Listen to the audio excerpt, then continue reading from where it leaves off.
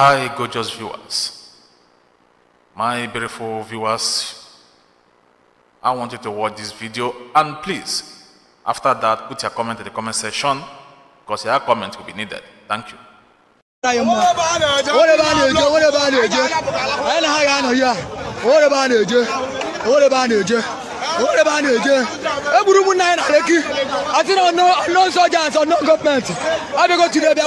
ebe egbu otu ndị dị mela dịkpọ nke kịtịkị tụde na ozi sojas ozi sojas na-egbu ọ sojas sojas akili na pepụ ya akili na pepụ isi maketi akili na pepụ isi maketi ndị amị ndị amị na-egbu ụmụnne anyị n'ime ahịa ha na-egbu anyị anyị ji ha anyị ji ahụ steji anyị ji ahụ steji anyị ji ahụ steji anyị ji ha we hold them anyị ji ha bụ onye gbara agbọ magịnị onye gbara agbọ magịnị anyị ji ha thank you ndị mela dịkpọ ka ọ na-eme live live ndị mela dịkpọ live live I don't understand.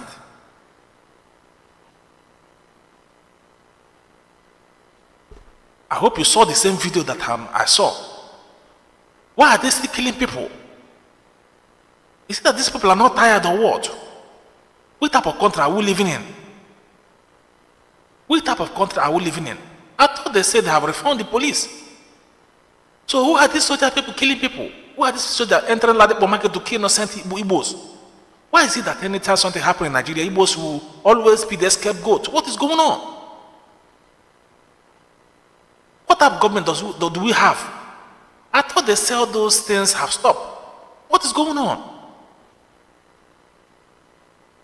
Why are they killing people? Why are they killing innocent people? Why are they going around killing innocent people? If we talk, they will say we are talking. If we keep quiet, they will say we have kept quiet. What is going on? It was leaking now. They are going inside market, Ladipo market to kill innocent Igbos. What is going on here? What is it that is going on? Well, it's unfortunate that the only man, man who stood against these people is the only person that the so-called Igbo governors are busy looking for a way to drag him down. Is the only man the so-called Owaziri case, the so-called Asares, are busy trying every means to drag him down.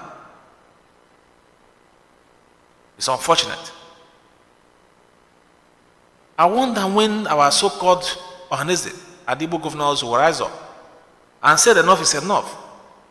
A place they don't want you, why can't you go to international community? Why can't you just go there and say a single, a single word? Then I leave the rest to Kano.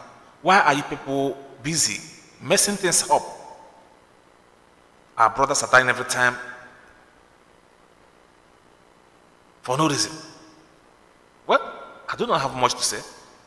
Like every other person, we are watching. But what to believe that the evil that men do will always come after them.